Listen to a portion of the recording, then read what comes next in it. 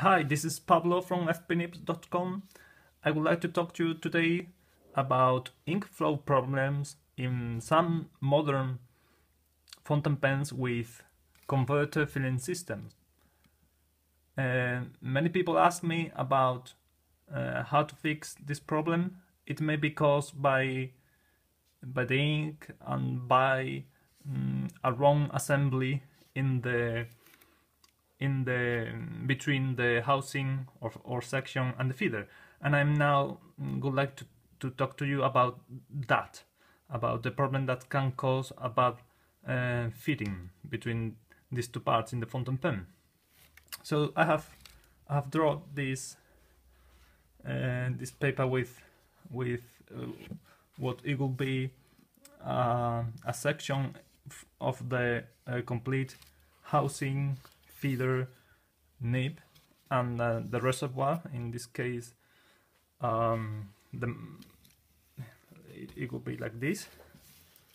All right can you see it? All right.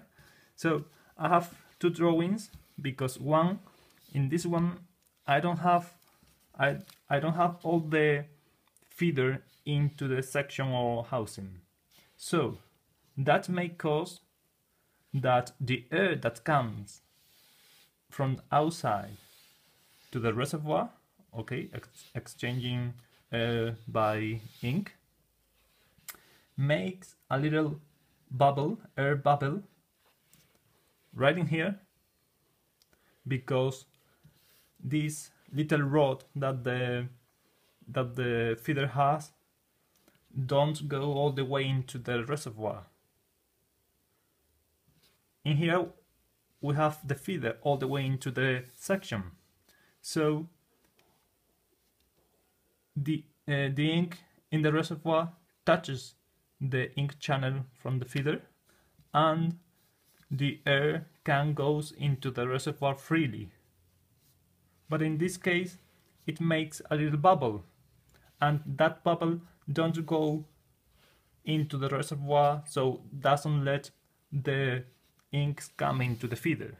So that's why sometimes um, you have uh, all, uh, you think everything is okay in your fountain pen, but uh, uh suddenly the, the fountain pen stop writing, uh, you run out all your ink into the feeder because you have here a bubble. Um, uh, in these two nib units, in a first sight you can see well eh, they are the same but not. This one the feeder is a little bit outside and in there the the rod the the connection rod that it's in the feeder with the reservoir is not all the way into. So in there a little very little mm, air bubble can cause the ink doesn't come into the feeder. I don't know if you will see in in the video, but but in in this case, maybe here, the rod is into the uh, all all the way into the section, and the feeder can touch the ink, and the air channel will allow the air to come into the converter all right? I don't know if you you can see it.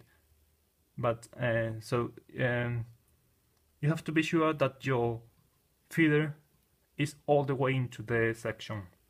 So uh, to avoid that problem that sometimes happens that bubble right in here. Okay? So we're going to continue with with this issue that some fountain pens have and we are going now to see uh, uh, how the ink can can do uh, some uh, something with these ink flow problems. Okay? Thank you. See you now. Bye